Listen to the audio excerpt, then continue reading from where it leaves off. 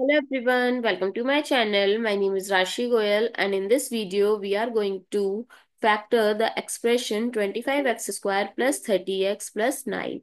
So let's start with today's video solution. So first I am going to write the number in the exponential form with an exponent of 2.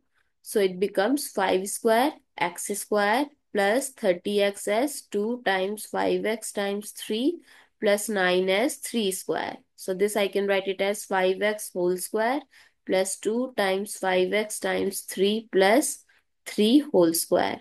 Now I am going to use an identity a square plus 2ab plus b square which is equals to a plus b whole square where a is 5x and b is 3.